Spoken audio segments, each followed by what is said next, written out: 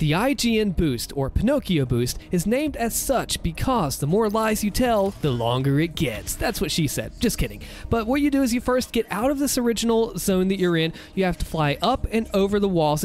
Might take a little bit of tricky skill to do it, but once you fly over, don't go too far because you have to have more style points coming up for that style meter. Shoot the sky to go back down faster. When you get here, you're going to set up the ultimate trick. Go all the way across. Pull out your crucible, hit the ground, go all the way back up, do chain ballista boost until you finally reach the COD Maker Arena. That's the IGN boost. Check out the next video here. Thanks for watching. Goodbye.